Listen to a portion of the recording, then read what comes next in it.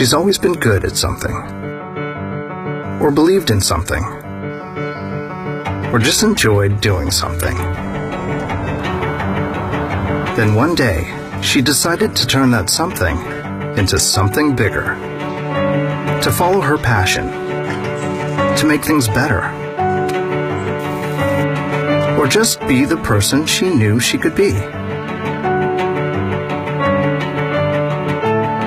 It wasn't always easy. Some days it seemed impossible, but she did it anyway.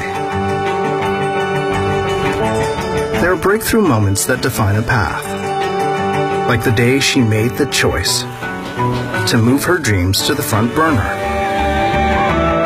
to design her future her way, to become Miss Opportunity and not a missed opportunity.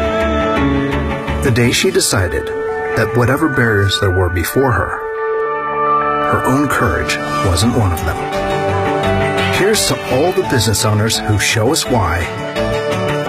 When women succeed, we all win.